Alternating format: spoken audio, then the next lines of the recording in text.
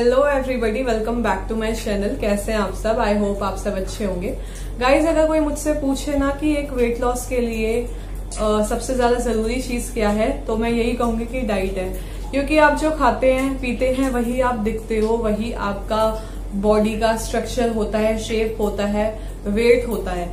Exercise भी एक role play करती है लाइक like वो 30 percent twenty percent role play करती है लेकिन 70 टू 80 परसेंट आप क्या खा रहे हो क्या पी रहे हो ये चीज़ डिसाइड करती है कि आपका वेट लॉस होगा या नहीं और कितना होगा।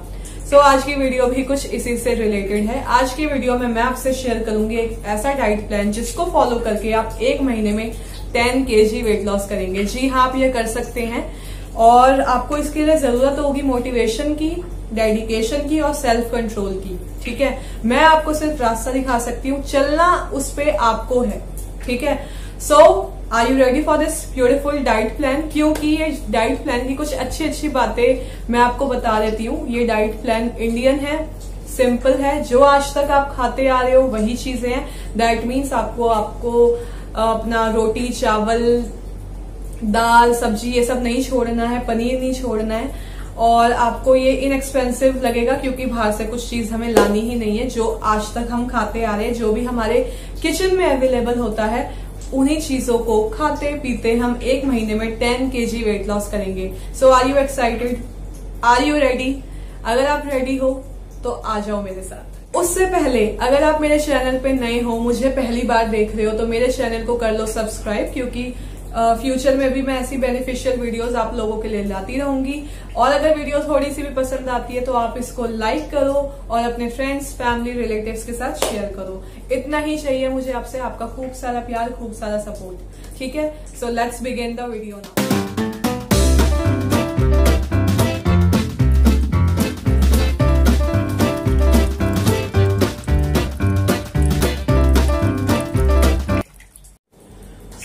दिन की शुरुआत करेंगे, आप सात से आठ बजे के बीच में इससे ज़्यादा लेट नहीं होना चाहिए। आपको टाइम से सोना है टाइम से उठना है, तभी ये डाइट प्लान अपना वर्क करेगा, क्योंकि स्लीप और वेट लॉस में भी कनेक्शन होता है। इसके बारे में किसी और वीडियो में बात करेंगे। अभी आप जाके एक डायरी लाओ और एक पेन लाओ और सारी चीज़ों को अच्छे से नोट डाउन कर लो। सो so गाइज़ आप दिन की शुरुआत करेंगे सात से आठ बजे के बीच में उसके बाद आप फ्रेशन अप होंगे। आफ्टर दैट आप एक ग्लास गुनगुना पानी पियेंगे। जी हाँ no coffee no tea no roti no paratha कोई भी आप सॉलिड नहीं खाएँगे। आ, आपको अपने दिन की शुरुआत पानी से करनी क्यों है? पानी से इसलिए करनी है क्योंकि रात भर आपकी बॉडी को पानी नहीं मिला होता वो डिहाइड्रेटेड हो जाती है। इसीलिए उसको पानी देना बहुत ज़्यादा ज़रूरी है सुबह के टाइम पे। इसके अलावा आपकी बॉडी में पूरी रात टॉक्सिन्स जमा हो जाते हैं, जिनको रिमूव करना बहुत ज़्यादा ज़रूरी है। टॉक्सिन्स रिमूव कैसे होते हैं? फ्लश आउट होते हैं, वो यूरिन के थ्रू यूरिन कब आएगा जब आप पानी पियेंगे? ठीक है?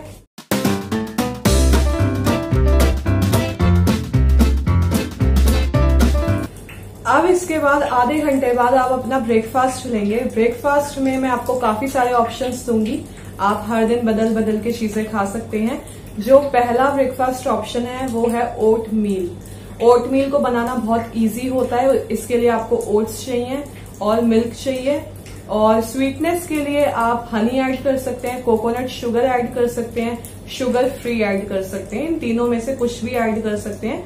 और शुगर व्हाइट शुगर आपको नहीं डालनी है, चीनी नहीं डालनी है.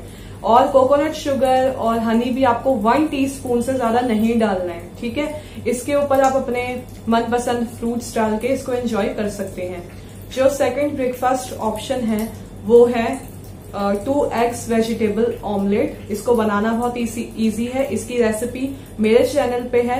इस वीडियो के डिस्क्रिप्शन बॉक्स में मैं आपको उसका लिंक दे दूँगी। आप उस लिंक को क्लिक करके उस वीडियो पे जा सकते हैं और पूरी रेसिपी देख सकते हैं। उसको बनाना भी बहुत इजी है और वेजिटेबल्स में फाइबर होता है, जो हमें काफ़ी एनर्जी देती है, हमारे पेट को फुल रखती है। इसके साथ आप ग्रीन टी लेंगे प्लेन ग्रीन टी उसके अंदर आप कोई हनी चीनी कोकोनट शुगर कुछ ऐड नहीं करेंगे, उसको प्लेन लेंगे। जो तीसरा ब्रेकफास्ट ऑप्शन है, वो है इडली सांबर आप टू मीडियम साइज़ इडलीज ले सकते हैं और एक कटोरी सांबर ले सकते हैं। कोशिश आप यही करिए कि आप घर पे बनाइए, क्योंकि बाहर का कुछ भरोसा नहीं होता कि वो क्या डालते हैं, क्या नहीं। अगर आपका कोई बंदा ऐसा है जो आपको बताए कि अच्छे से बनाता है हाइजीनिक तरीके से बनाता है और तो आप उसका लेके आ सकते हैं बट कोशिश आपको यही करनी है कि आप इडली और सांभर घर पे बनाएँ। कई सारी रेसिपीज़ आपको यूट्यूब चैनल पे मिल जाएगी, किसी यूट्यूब चैनल पे मिल जाएगी। तो ये है आपका थर्ड ब्रेकफास्ट ऑप्शन जो चौथा ब्रेकफास्ट ऑप्शन है, वो है स्मूदीज बहुत तरीके की स्मूदीज होती हैं। आप यूट्यूब चैनल किसी भी यूट्यूब चैनल पे जाके देख सकते हैं how to make different types of smoothies लेकिन एक स्मूदी यहाँ पे मैं मेंशन कर देती हूँ एप्पल स्मूदी जो कि बहुत इजी है बनाना। उसके लिए आपको टू मीडियम साइज़ एप्पल्स चाहिए। साथ में आपको मिल्क uh, चाहिए लो फैट मिल्क आधा ग्लास और उसमें उसको डाल दो। उसके अंदर शुगर के लिए आप तीन ऑप्शंस ले सकते हैं या तो कोकोनट शुगर या शुगर फ्री या फिर हनी लेकिन अगेन हनी और कोकोनट शुगर वन टीस्पून से ज़्यादा नहीं होगा ठीक है? सो so, आप इसको अच्छे से ब्लेंड करें और आपकी एप्पल स्मूदी रेडी हो जाएगी. सो so, ये ब्रेकफास्ट ऑप्शन है. चार और पांचवा जो ब्रेकफास्ट ऑप्शन है वो है उन लोगों के लिए जो बहुत ज़्यादा बिज़ी हैं जिनके पास ये सारी चीज़ें बनाने का पाँच मिनट का भी टाइम नहीं है। आप कॉर्नफ्लेक्स ला सकते हैं म्यूसली ला सकते हैं, दोनों में से कुछ भी। उसके अंदर लो फैट मिल्क डालो हनी डालो, और या फिर कोकोनट शुगर डालो, या फिर स्टेविया शुगर फ्री डालो, और एंजॉय करो अपना ब्रेकफास्ट तो ये पाँच ऑप्शंस मैंने आपको ब्रेकफास्ट में दे दिया बदल बदल के चीज़ें खा सकते हो। एक और यहाँ पे मैं दे देती हूँ आपको, एक और ऑप्शन है जो कि है बेसन का चीला, जो कि अमेजिंग होता है, मेरा पर्सनली फेवरेट है। आप उसके अंदर बहुत सारी वेजिटेबल्स डाल के उसको बना सकते हैं और होममेड चटनी के साथ खा सकते हैं। कोई कैचअप आप यहाँ पे यूज़ नहीं करेंगे। सो आप एक चीला, बड़ा चीला है तो एक चीला। अगर छोटे छोटे चीले हैं तो आप दो चीले एंजॉय कर सकते हैं। बेसन में काफ़ी ज़्यादा प्रोटीन होता है, जो हमारी हेल्थ के लिए काफ़ी अच्छा होता है, और वो हमें पूरे दिन एनर्जी देता है। सो इसलिए आप बेसन का चीला भी अपने ब्रेकफास्ट में एंजॉय कर सकते हैं।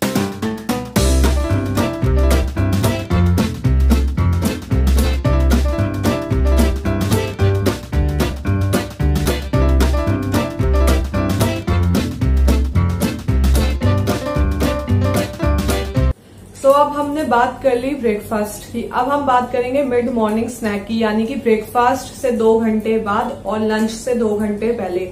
आपको जैसा कि इस पूरे डाइट प्लान में हर दो घंटे बाद कुछ खाना है, अपने मेटाबॉलिज्म को बूस्ट करने के लिए स्पीड अप करने के लिए। तो इसीलिए आपको ब्रेकफास्ट के दो घंटे बाद कुछ खाना है। आप इसमें क्या क्या खा सकते हैं? मैं आपको दो ऑप्शंस यहाँ पे देती हूँ। आप ड्राई फ्रूट्स खा सकते हैं सॉरी तीन ऑप्शंस देती हूँ। आप ड्राई फ्रूट्स खा सकते हैं फ्रूट्स खा सकते हैं, जो भी सीज़न में फ्रूट्स हैं, या फिर आप टू मारिया बिस्किट्स या डाइजेस्टिव बिस्किट्स ग्रीन टी के साथ ले सकते हैं। आप नॉर्मल टी नहीं लेंगे, ठीक है? और अगर लेनी है if you want to have normal tea then don't add any kind of sugar in it okay so ये हो गया हमारा मिड मॉर्निंग स्नैक्स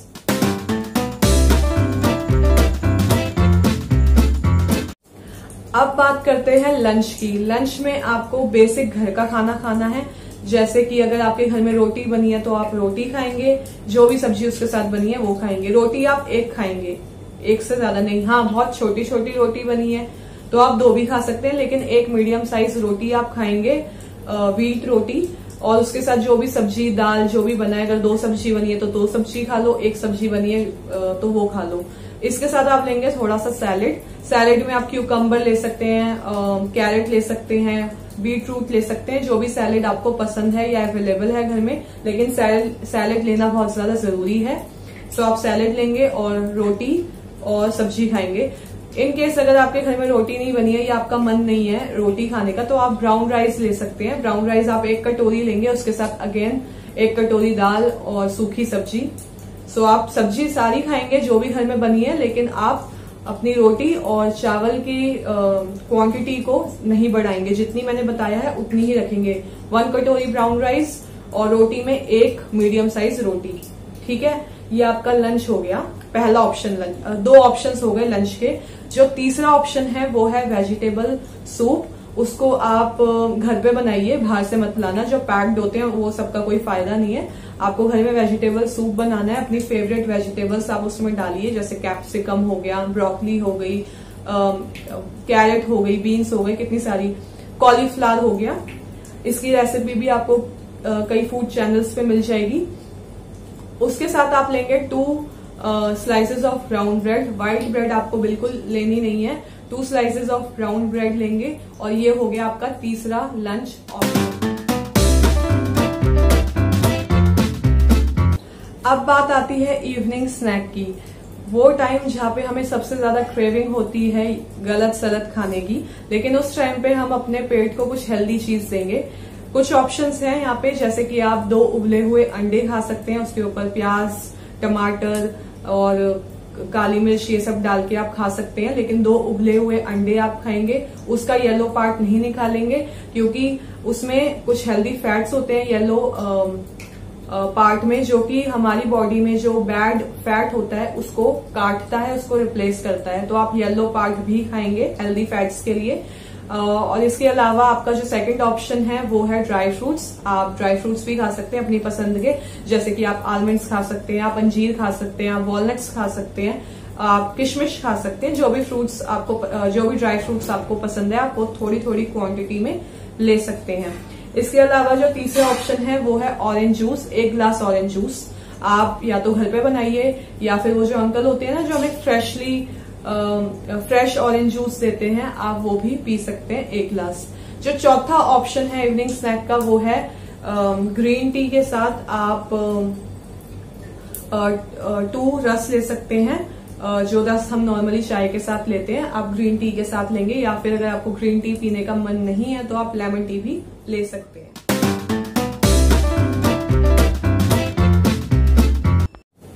अब बात आती है डिनर की.